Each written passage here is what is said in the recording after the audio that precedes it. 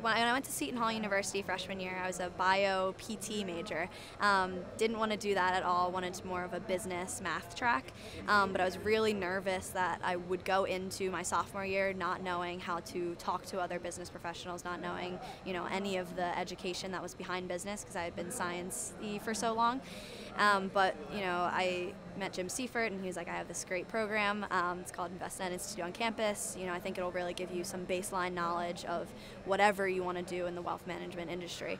So I, sure enough, did the program. Uh, it took me about seven hours. wasn't too bad, um, and absolutely painless. And sure enough, went into my first class knowing, you know, whether it was data analytics or financial advising, at least some of the jargon um, that people were talking about. So I was already caught up in the conversation without ever having to take a class.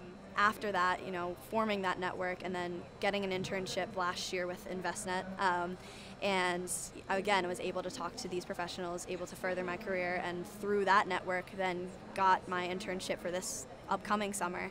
Um, they want me to be an analyst, so the data analytics portion of Envestnet Institute on campus really helped me out there.